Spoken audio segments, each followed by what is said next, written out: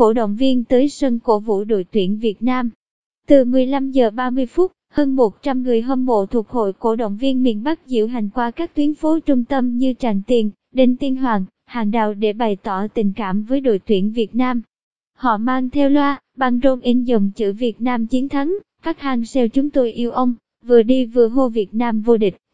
Đến 16 giờ, đường Lê Quang Đạo dẫn vào sân vận động Mỹ Đình bắt đầu ủng tắc do phần lớn làn đường được trào chắn để xây dựng đường đua F1 và cổ động viên tăng đột biến. Khu vực trước khán đài B sân Mỹ Đình, hàng nghìn cổ động viên mặc áo cờ đỏ sao vàng đổ về, hát các ca khúc cổ vũ đội tuyển. Chị Đào Thu Thủy, Hà Nội, cho biết đến dự tất cả trận đấu của đội tuyển Việt Nam trong vòng loại World Cup diễn ra ở sân Mỹ Đình. Trận đấu hôm nay tôi có niềm tin rằng Việt Nam sẽ chiến thắng với cách biệt ba bàn, chị Thủy nói. Ông Đoàn Quốc Thắng, bố cầu thủ Văn Hậu, cho biết đang cùng vợ và một số người thân trên xe từ Thái Bình lên Hà Nội để cổ vũ cho đội tuyển và con trai.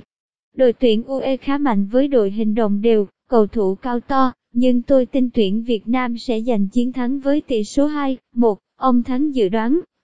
Trong khi đó Nguyễn Quang Thuần, bố cầu thủ Quang Hải, chia sẻ do nhà gần nên sát giờ thi đấu mới vào sân. Ông Thuần cũng cho rằng Việt Nam sẽ thắng UE với tỷ số sát nút 2 trên 1. Lãnh đạo Phòng Cảnh sát Giao thông Hà Nội và Trung đoàn Cảnh sát Cơ động cho biết đã huy động 100% quân số ứng trực tại hầu hết nút giao trọng điểm, cửa ngõ ra vào thành phố. Các tuyến đường quanh sân Mỹ Đình, các cung từ sân bóng lên hồ gươm và ngược lại được tăng cường lực lượng đảm bảo an ninh,